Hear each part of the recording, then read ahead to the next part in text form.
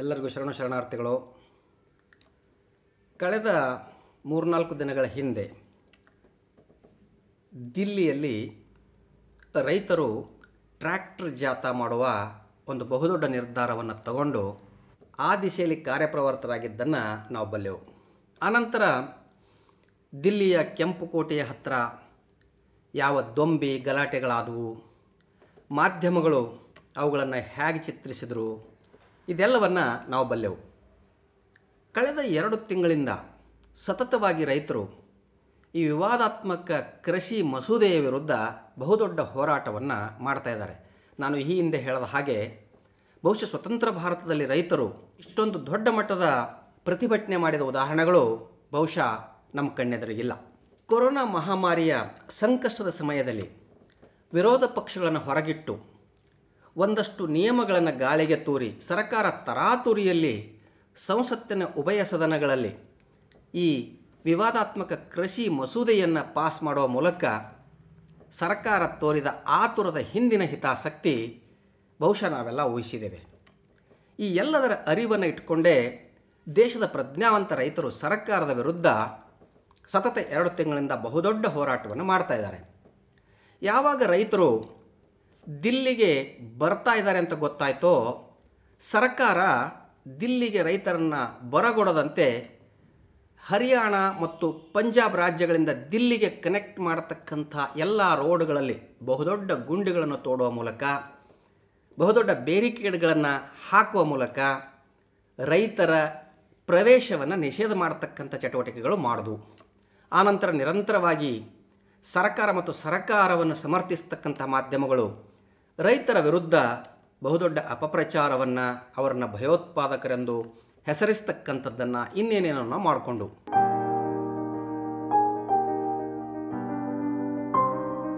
ಒಟ್ಟಾರೆ ಈ ರೈತ ಚಳುವಳಿ ಇದೊಂದು ಬಹುದೊಡ್ಡ ಸಾಂಘಿಕವಾದಂಥ ಹೋರಾಟ. ಇಲ್ಲಿ ದೇಶದ ವಿವಿಧ ರೈತ ಸಂಘಟನೆಗಳ ಒಕ್ಕೂಟವೊಂದನ್ನು ಸ್ಥಾಪನೆ ಮಾಡಲಾಗಿದೆ. ಈ ಒಟ್ಟಾರೆ ಒಕ್ಕೂಟದಲ್ಲಿರತಕ್ಕಂಥವು ಸರಿಸುಮಾರು ನಲವತ್ತು ರೈತ ಸಂಘಟನೆಗಳು.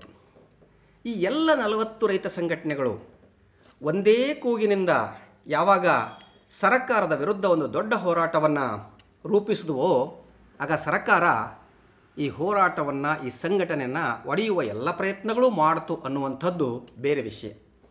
ಹಾಗಾಗಿ ಮೊನ್ನೆ ಗಣರಾಜ್ಯೋತ್ಸವದ ದಿನ ರೈತರು ಸರ್ಕಾರವನ್ನು ಬೇಡಿಕೊಂಡು, ನಾವು ನಮ್ಮ ಟ್ರ್ಯಾಕ್ಟರ್ಗಳನ್ನು ತಗೊಂಡು ಬಂದು ದಿಲ್ಲಿಯ ಕೆಂಪು ಕೋಟೆಯ ಹತ್ತಿರ ಪ್ರದರ್ಶನವನ್ನು ಮಾಡ್ತೇವೆ, ಜಾಥಾ ಮಾಡ್ತೇವೆ, ಈ ಪ್ರತಿಭಟನೆ ಅಂಗವಾಗಿ ಅದಕ್ಕೆ ನೀವು ಅನುಮತಿಸಬೇಕು ಅಂತ. ಸರ್ಕಾರ ಅದನ್ನು ತಡೆಯಲು ಕೋರ್ಟಿಗೂ ಹೋಯಿತು. ಆದರೆ ಸುಪ್ರೀಂ ಕೋರ್ಟ್ ಈ ವಿಷಯದಲ್ಲಿ ತಲೆ ಹಾಕಲಿಲ್ಲ. ನಾನು ಇದರಲ್ಲಿ ಮಧ್ಯ ಪ್ರವೇಶಿಸೋದಿಲ್ಲ ದಿಲ್ಲಿಯ ಪೊಲೀಸರು ಇದನ್ನು ಬಗೆಹರಿಸ್ಕೋಬೇಕು ಅಂತ ಹೇಳಿ ಕೈ ತೊಳ್ಕೊಂಡ್ಬಿಡ್ತು. ಆಗ ಸರ್ಕಾರ ಅನಿವಾರ್ಯವಾಗಿ ರೈತರ ಹೋರಾಟವನ್ನು ಹತ್ತಿಕ್ಕದೆ ಅದಕ್ಕೆ ಅನುಮತಿಸಬೇಕಾಯಿತು. ಆದರೆ ಅನುಮತಿಸಿದ ಮೇಲೆ ಈ ರೈತ ಸಂಘದ ಎಲ್ಲ ನಾಯಕರು ಮತ್ತು ಸರ್ಕಾರದ ನಡುವೆ ನಡೆದಂಥ ಈ ಹನ್ನೊಂದು ಮಾತುಕತೆಗಳು ಬಿದ್ದು ಹೋದ ಮೇಲೆ ಈ ಟ್ರ್ಯಾಕ್ಟರ್ ಜಾಥಾಕ್ಕೆ ಯಾವ ರೀತಿ ಅನುಮತಿಯನ್ನು ಕೊಡಬೇಕು ಅನ್ನೋದು ದಿಲ್ಲಿ ಪೊಲೀಸರು ಒಂದಷ್ಟು ನಿರ್ಧಾರ ಮಾಡ್ತಾರೆ. ಒಂದಷ್ಟು ರೂಟ್ಗಳನ್ನು, ಮಾರ್ಗಗಳನ್ನು ಅವು ಕೂಡ ನಿರ್ಧಾರ ಮಾಡ್ತಾರೆ. ಆ ರೂಟಿನ ಮೂಲಕ ಮಾತ್ರ ದಿಲ್ಲಿಯನ್ನು ಪ್ರವೇಶಿಸಬೇಕು. ಮತ್ತು ಶಾಂತಿಯುತವಾಗಿ ಪ್ರತಿಭಟನೆ ಮಾಡಬೇಕು ಅನ್ನೋದು ನಿರ್ಧಾರ ಆಗ್ತದೆ. ಆ ಎಲ್ಲ ಮಾತುಕತೆಗಳ ಫಲಶ್ರುತಿಯಂತೆ ರೈತರು ಬಹಳ ಶಾಂತ ರೀತಿಯಿಂದ ಸರ್ಕಾರದ ಜೊತೆಗೆ ತೋರಿಸಿದ ಮಾರ್ಗಸೂಚಿಗಳ ಅನುಸಾರವಾಗಿ ಅದೇ ಮಾರ್ಗವಾಗಿ ದಿಲ್ಲಿಯನ್ನು ಟ್ರ್ಯಾಕ್ಟರ್ಗಳ ಮೂಲಕ ಪ್ರವೇಶಿಸುವಂಥ ಕೆಲಸವನ್ನು ಮಾಡ್ತಾರೆ.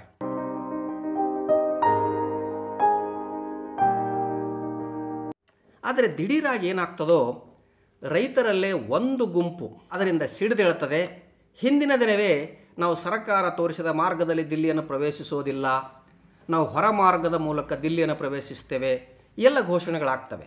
ಆ ಒಂದು ಸಂಘಟನೆ, ಈ ಇಡೀ ಉಳಿದ ಎಲ್ಲ ಸಂಘಟನೆಗಳ ತದ್ವಿರುದ್ಧವಾದ ನಿಲುವನ್ನು ತಾಳಿ ಒಂದಷ್ಟು ವಿರೋಧ ವಿರೋಧಾಭಾಸಗಳನ್ನು ಮಾಡೋಕ್ಕೆ ಶುರು ಮಾಡ್ತದೆ.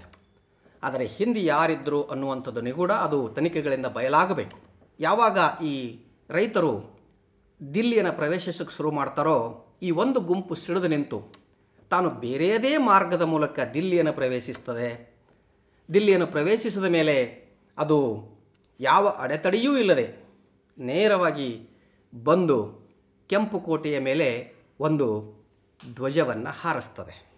ಆ ಧ್ವಜ ಮತ್ಯಾವುದೂ ಅಲ್ಲ, ಸಿಖ್ ಧರ್ಮೀಯರ ಧ್ವಜ. ನಮ್ಮೆಲ್ಲ ಮಾಧ್ಯಮಗಳು ಅದನ್ನು ಬಹುದೊಡ್ಡ ಅಪರಾಧ ಎಂಬುವಂತೆ ಧ್ವಜ ಸಂಹಿತೆಯನ್ನು ಉಲ್ಲೇಖಿಸ್ತಾ ಒಂದು ಬಹುದೊಡ್ಡ ರಾದ್ಧಾಂತವನ್ನೇ ಮಾಡೋಕ್ಕೆ ಶುರು ಮಾಡ್ತವೆ. ಇಲ್ಲಿ ಧ್ವಜ ಹಾರಿಸೋದು ಯಾವ ಅಪರಾಧವೂ ಅಲ್ಲ. ಅದು ರಾಷ್ಟ್ರ ಧ್ವಜಕ್ಕಿಂತ ಕೆಳಮಟ್ಟದಲ್ಲಿರಬೇಕು. ಈ ಧ್ವಜ ಇವರೇನು ಹಾರಿಸಿದ್ರು ರೈತರು? ಇದು ಈಗಾಗಲೇ ನಮ್ಮ ಸೈನ್ಯದಲ್ಲೂ ಕೂಡ ಹಾರಿಸಲ್ಪಡ್ತದೆ. ಅದು ಯಾವುದು ದೇಶದ್ರೋಹಿ ಧ್ವಜ ಅಲ್ಲ. ಅದನ್ನು ಖಲಿಸ್ತಾನ್ ಧ್ವಜ ಅಂತ ಕೂಡ ಮೊದಲು ಮಾಧ್ಯಮದವರು ಬಿಂಬಿಸಲು ಪ್ರಯತ್ನ ಮಾಡಿದ್ರು. ಅದಾಗದೇ ಇರುವಾಗ ಅದು ಶಿಖ್ರ ಧರ್ಮಧ್ವಜ ಅಂತ ಆಮೇಲೆ ತಿದ್ದುಕೊಂಡು ಮಾಧ್ಯಮಗಳು ಇವೆಲ್ಲ ಆಯಿತು. ನಾವು ಒಂದು ಮಾತನ್ನು ಬಹಳ ಸೂಕ್ಷ್ಮವಾಗಿ ಅವಲೋಕಿಸಬೇಕು. ಯಾವಾಗ ರೈತರು ಇನ್ನೂ ಅನ್ಆರ್ಗನೈಸ್ಡ್ ಆಗಿ ದಿಲ್ಲಿಯನ್ನು ಪ್ರವೇಶಿಸ್ತಾರೋ ಆವಾಗ ಸರ್ಕಾರ ಅವರನ್ನು ತಡೆಯಲು ಗುಂಡಿಗಳನ್ನು ತೋಡ್ತಕ್ಕಂತಹ ಬೇರಿಕೇಡ್ಗಳನ್ನು ಹಾಕುವಂಥ ಕೆಲಸ ಮಾಡಿತ್ತು. ಇವತ್ತು ರೈತರು ಸಾಂಘಿಕವಾಗಿ ಸರ್ಕಾರಕ್ಕೆ ಹೇಳಿನೇ ದಿಲ್ಲಿಯಲ್ಲಿ ಬರ್ತಾ ಇರುವಾಗ ಈ ಏರು ಗುಂಪು ಒಂದು ರೈತ ಸಂಘಟನೆಯಿಂದ ಸಿಡಿದು ಈ ಎಲ್ಲ ವಿಧ್ವಂಸಕ ಕೆಲಸಗಳು ಮಾಡೋದಕ್ಕೇನು ಪ್ರಯತ್ನ ಮಾಡ್ತೋ ಆಗ ಅಕ್ಷರಶಃ ಪೊಲೀಸರು ಅವರನ್ನು ತಡೆಯದೆ ನಿಂತಿದ್ದು ಯಾಕೆ ಅನ್ನುವಂಥ ಪ್ರಶ್ನೆ ಇಲ್ಲಿ ಉದ್ಭವ ಆಗ್ತಾ ಇದೆ नहीं ये बताइए कि जो यहाँ पे वायलेंस भी हुआ सिक्योरिटी फोर्सेस पे भी अटैक हुआ तो ये क्या गलत नहीं है नहीं सर देखो आप गलत कह रहे हो फोर्स पे अटैक नहीं हुआ फोर्स ने अटैक किया है लोगों के ऊपर अच्छा जब आप कोई किसी जगह पे कोई रोक टोक नहीं है लोगों को आने दे रहे हो। तो इट्स मीन्स कि आप चाह रहे हो कि लोग यहाँ पे इकट्ठा हो। अगर आपके मन में था कि ये लोग ना आए तो आपको स्ट्रांगली बैरिकेटिंग करनी चाहिए थी जो बिल्कुल नहीं थी। सिंगू बॉर्डर से लेके यहाँ तक कहीं पे भी कहीं पे भी बैरिकेटिंग नहीं है कहीं पे भी। इट्स मीन्स के आप जा रहे हो। यू वांट के पीपल यहाँ पे आए लोग यहाँ पे आके इकट्ठे हो और आके वायलेंस करें। वापस आ रहे थे तो पुलिस ने लाठी चार्ज किया।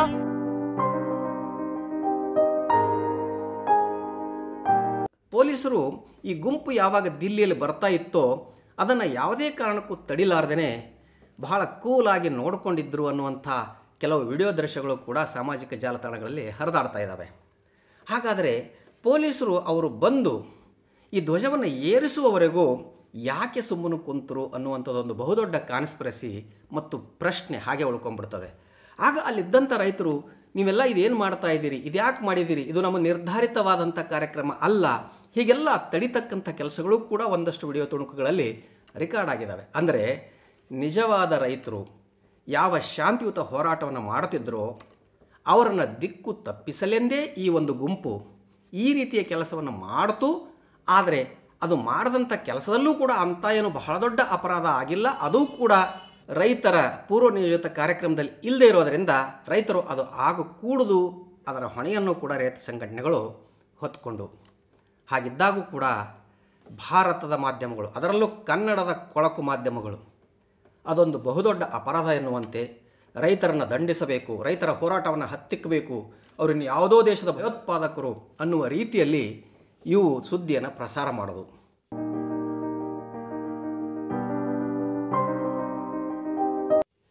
ನಾವು ಈ ಹಿಂದೆ ಸಿ ಎ ವಿರೋಧವಾಗಿ ಪ್ರತಿಭಟನೆ ನಡೆದಂಥ ಶಾಹೀನ್ ಭಾಗ ಘಟನೆ ಆಗಿರಬಹುದು. ಈ ದೇಶದ ಮತ್ತೊಂದಷ್ಟು ಮತ್ತೊಂದಷ್ಟು ಸಮಸ್ಯೆಗಳ ಕುರಿತು ದಿಲ್ಲಿಯ ಪ್ರತಿಷ್ಠಿತ ಜೆ ಎನ್ ಯುನಲ್ಲಿ ನಡೆದಂಥ ವಿದ್ಯಾರ್ಥಿ ಸಂಘಟನೆಯ ಹೋರಾಟ ಆಗಿರಬಹುದು. ಈ ಎಲ್ಲ ಹೋರಾಟಗಳಲ್ಲಿ ಒಂದಷ್ಟು ಆ್ಯಂಟಿ ಸೋಷಲ್ ಎಲೆಮೆಂಟ್ಗಳು ಯಾವ ರೀತಿಯಾಗಿ ಹೋರಾಟ ನಿರತರ ಮೇಲೆ ದೈಹಿಕ ದಾಳಿಗಳನ್ನು, ಹಲ್ಲೆಗಳನ್ನು ಮಾಡೋದು ಅನ್ನುವಂಥದ್ದನ್ನು ನಾವು ಬಲ್ಲೆವು. ಅದರಲ್ಲಿ ಬಹುಮುಖ್ಯವಾದಂಥ ಒಂದಷ್ಟು ಹೆಸರುಗಳನ್ನು ನಾನು ತಮ್ಮೆದುರುಗಡೆ ಪ್ರಸ್ತಾಪ ಮಾಡ್ತೇನೆ. ಇದರಲ್ಲಿ ಕಪಿಲ್ ಗುರ್ಜರ್ ಅನ್ನುವಂಥವ, ಕೋಮಲ್ ಶರ್ಮಾ ಅನ್ನುವಂಥವ, ಕಪಿಲ್ ಮಿಶ್ರಾ ಅನ್ನುವಂಥವ, ಅನುರಾಗ್ ಠಾಕೂರ್ ಅನ್ನುವಂಥವ, ಪ್ರವೀಣ್ ವರ್ಮಾ ಅನ್ನುವಂಥವ. ಇಷ್ಟು ಜನರು ಶಾಹಿನ್ ಭಾಗ್ ಮತ್ತು ಜೆ ಎನ್ ಯು ಹೋರಾಟಗಳಲ್ಲಿ ಯಾವ ರೀತಿಯ ಪುಂಡಾಟಗಳನ್ನು ಮಾಡಿದ್ರು ಮತ್ತು ಇವರ ಮೇಲೆ ಸರ್ಕಾರ ಯಾವ ಕ್ರಮ ತಗೊಳ್ತು ಅನ್ನುವಂಥದ್ದನ್ನು ನೀವು ನೋಡ್ತಾ ಹೋದಾಗ ಇವರ ಯಾರ ಮೇಲೂ ಯಾವುದೇ ಕ್ರಮಗಳು ಇಲ್ಲಿಯವರೆಗೂ ಜರುಗಿಲ್ಲ. ಹಾಗಾದರೆ ಜನಪರ ಹೋರಾಟಗಳನ್ನು ಹತ್ತಿಕ್ತಕ್ಕಂಥ ಕೆಲಸ ಯಾರಿಂದ ಆಗ್ತಾ ಇದೆ? ಎಲ್ಲ ಆ್ಯಂಟಿ ಸೋಷಲ್ ಎಲೆಮೆಂಟ್ಸ್ಗಳು ಜನಪರ ಹೋರಾಟಗಳನ್ನು ಹತ್ತಿಕ್ತಕ್ಕಂಥ ಕೆಲಸ ತಾವು ಸ್ವಯಂ ಕಾನೂನನ್ನು ಕೈಗೆತ್ತಿಕೊಂಡು ಮಾಡಿದಾಗಲೂ ಕೂಡ ಇವರ ಮೇಲೆ ಯಾವುದೇ ಆರೋಪಗಳು ಇಲ್ಲಿವರೆಗೂ ಯಾಕೆ ದಾಖಲಾಗಿಲ್ಲ? ಯಾವ ಕ್ರಮಗಳು ಯಾಕೆ ತಗೊಂಡಿಲ್ಲ ಅನ್ನುವಂಥದ್ದನ್ನು ನಾವು ನೋಡಿದಾಗ ಈ ಎಲ್ಲರ ಹಿಂದೆ ಯಾರಿದ್ರು ಅನ್ನುವಂಥದ್ದನ್ನು ನಾವು ಊಹಿಸ್ಬೋದು. ಇದ್ರ ಜೊತೆಗೆ ಏನು ದಿಲ್ಲಿಯಲ್ಲಿ ಆಯಿತೋ, ಈ ರೈತರ ಹೋರಾಟವನ್ನು ಏನು ಹತ್ತಿಕ್ಕಬೇಕು ಅಂತ ಅಥವಾ ರೈತರ ಹೋರಾಟಕ್ಕೆ ಕೆಟ್ಟ ಹೆಸರನ್ನು ತರಬೇಕು ಅಂತ ಈ ಒಂದು ಈ ಪಂಜಾಬಿನ ದೀಪ್ ಸಿಧು ಅನ್ನುವಂಥ ನಟ ರೈತರ ವೇಷದಲ್ಲಿ ಈ ಚಳುವಳಿಯಲ್ಲಿ ಒಳಹೊಕ್ಕು. ಯಾವ ರೀತಿಯಾಗಿ ಈ ಅವಾಂತರಗಳನ್ನು ಮಾಡದ, ಮತ್ತು ಈತ ಈ ಕೆಲಸವನ್ನು ಮಾಡಿದ ಮೇಲೆ ತಪ್ಪಿಸಿಕೊಂಡು ಆ ಜನಸಮೂಹದಿಂದ ಹೇಗೆ ಓಡಿ ಹೋದ ಪೊಲೀಸರು ಅದನ್ನು ನೋಡಿಕೊಂಡು ಹೇಗೆ ನಿಂತರು, ಈಗ ಆತ ಎಲ್ಲಿದ್ದಾನೆ, ಹೇಗೆ ತಲೆಮರೆಸ್ಕೊಂಡ ಆತನ ಸ್ಟೇಟ್ಮೆಂಟ್ಸ್ಗಳೇನು, ಆತ ಲೈವ್ ಸ್ಟ್ರೀಮಲ್ಲಿ ಹೇಳಿದ್ದೇನು, ಇವೆಲ್ಲನೂ ನೋಡಿದ ಮೇಲೂ ಕೂಡ ಎಲ್ಲರಿಗೂ ಸಂಶಯ ಕ್ವೈಟ್ ನ್ಯಾಚುರಲ್ ಆಗಿ ಬರ್ತಕ್ಕಂಥದ್ದು. ಅಂದರೆ ಈ ರೈತರ ಚಳುವಳಿಯನ್ನು ವ್ಯವಸ್ಥಿತವಾಗಿ ಹತ್ತಿಕ್ಕಲು ಸರಕಾರ ಮತ್ತು ಮಾಧ್ಯಮಗಳು ಒಂದು ಯೋಜನೆಯನ್ನು ಮಾಡಿದ್ದವೇ ಅನ್ನುವಂಥ ಸಂಶಯ ನಮಗೆ ಬರ್ತದೆ.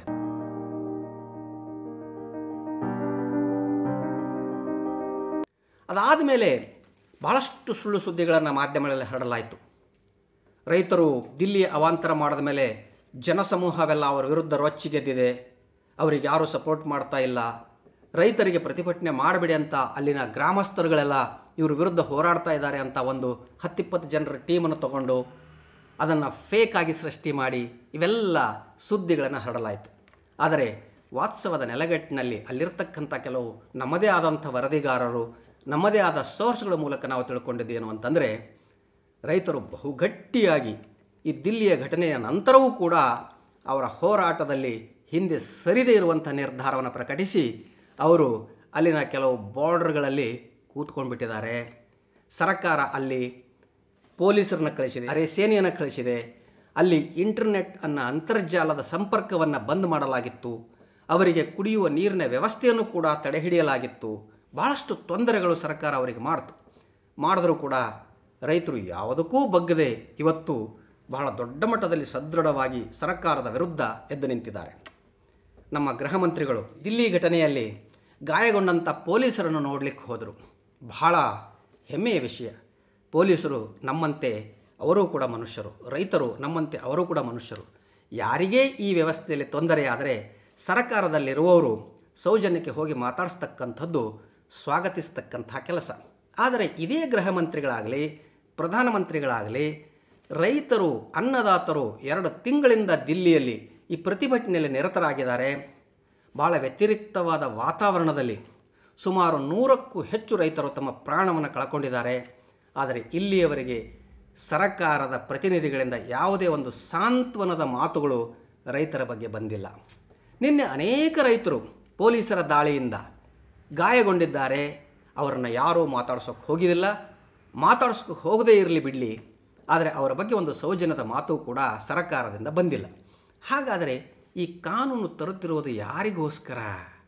ಇದೆಲ್ಲ ಕಾನ್ಸ್ಪಿರಸಿಗಳನ್ನು ನಾವು ಕುಲಂಕುಷವಾಗಿ ನೋಡಿದಾಗ ಸರ್ಕಾರ ಬಹಳಷ್ಟು ದೊಡ್ಡ ತಪ್ಪನ್ನು ಮಾಡ್ತಾ ಇದೆ ಅನ್ನುವಂಥದ್ದಂತೂ ಖಂಡಿತವಾಗಿ ನಾವೆಲ್ಲ ಜನಸಾಮಾನ್ಯರು ತಿಳ್ಕೋಬಹುದಾಗಿದೆ. ಹಾಗಾಗಿ ನಾವು ಈ ರೈತರ ಹೋರಾಟವನ್ನು ಎಲ್ಲ ಅನ್ನದಾತರು, ಅನ್ನವನ್ನು ತಿಂತಕ್ಕಂಥವರು ಬೆಂಬಲಿಸಬೇಕಾದಂಥ ಅಗತ್ಯ ಇದೆ. ಇವತ್ತು ರೈತರು ಇಷ್ಟು ದೊಡ್ಡ ಮಟ್ಟದಲ್ಲಿ ಸರಕಾರದ ವಿರುದ್ಧ ತಿರುಗಿ ಬಿದ್ದಿದ್ದಾರೆ ಅಂದರೆ ಸರಕಾರದ ಕಾನೂನು ರೈತರ ಪರವಾಗಿ ಇಲ್ಲ ಅನ್ನುವಂಥದ್ದು. ಪ್ರತಿಯೊಂದು ಕ್ಷಣದಲ್ಲಿ ಎಲ್ಲ ಮಾಧ್ಯಮಗಳು, ಎಲ್ಲ ಆರ್ಥಿಕ ತಜ್ಞರು, ಎಲ್ಲ ಕೃಷಿ ತಜ್ಞರು ಸರಕಾರದ ಪರವಾಗಿಯೇ ವಾದಿಸ್ತಾ ಇದ್ದಾರೆ. ಆದರೂ ಕೂಡ ತನಗೇನು ಬೇಕು ಅನ್ನೋದನ್ನು ಹೇಳಬೇಕಾದವನು ರೈತನೇ ಹೊರತು ಮತ್ತಿನ್ಯಾರೂ ಅಲ್ಲ. ರೈತನಿಗೆ ಬೇಡವಾದ ಕಾನೂನು ಯಾರ ಅನುಕೂಲಕ್ಕಾಗಿ ಸರ್ಕಾರ ಇಷ್ಟೊಂದು ಜಿದ್ದಿನಿಂದ ತರ್ತಾ ಇದೆ ಅನ್ನುವಂಥದ್ದು ಬಹುದೊಡ್ಡ ಪ್ರಶ್ನೆಯಾಗಿ ಉಳಿತಾ ಇದೆ. ಹಾಗಾಗಿ ಜನಪರ ಹೋರಾಟಗಳು ಯಾವ ರೀತಿಯನ್ನು ದಿಕ್ಕು ತಪ್ಪಿಸಲು ಪ್ರಯತ್ನ ಮಾಡಲಾಗ್ತದೆ, ಪ್ರಭುತ್ವ ಯಾವೆಲ್ಲ ರೀತಿ ಹೋರಾಟಗಾರರ ಒಕ್ಕಟ್ಟನ್ನು ಮುರಿಯಲು ಪ್ರಯತ್ನ ಮಾಡ್ತದೆ ಅನ್ನುವಂಥದಕ್ಕೆ ದಿಲ್ಲಿಯ ನೆನ್ನೆಯ ಘಟನೆ ಬಹಳ ಜ್ವಲಂತ ಉದಾಹರಣೆ ಅಂತ ಹೇಳ್ತಾ ಇದ್ದೇನೆ. ಶರಣು ಶರಣಾರ್ಥಿಗಳು. ಶರಣು ಶರಣಾರ್ಥಿಗಳು, ಸತ್ಯವನ್ನು ಪ್ರತಿಪಾದಿಸುವ, ಜನರನ್ನು ಜಾಗೃತೆಗೊಳಿಸುವ ನನ್ನ ವಿಡಿಯೋಗಳನ್ನು ತಪ್ಪದೆ ಪೂರ್ತಿಯಾಗಿ ನೋಡುತ್ತೀರಿ. ನೋಡಿದ ಮೇಲೆ ತಮ್ಮ ಸಮೀಪದ ಬಂಧುಗಳಿಗೂ, ಸ್ನೇಹಿತರಿಗೂ ಹಂಚಿಕೊಳ್ಳುವುದನ್ನು ಮರೆಯದಿರಿ. ಅದೇ ರೀತಿ ನಮ್ಮ ಯೂಟ್ಯೂಬ್ ಚಾನಲ್ನಲ್ಲಿ ಜಾಯಿನ್ ಅನ್ನುವಂಥ ಒಂದು ಹೊಸ ಫೀಚರ್ ಬಂದಿದೆ. ತಾವೆಲ್ಲರೂ ಸಾಧ್ಯವಾದರೆ ಜಾಯಿನ್ ಆಗಿ ಆ ಮೂಲಕ ನಮ್ಮ ಸಾಮಾಜಿಕ ಜಾಗ್ರತೆಯ ಈ ಅಭಿಯಾನಕ್ಕೆ ಕೈ ಜೋಡಿಸಿ ಅಂತ ಕೇಳ್ತಾ ಇದ್ದೇನೆ. ಶರಣು ಶರಣಾರ್ಥಿಗಳು.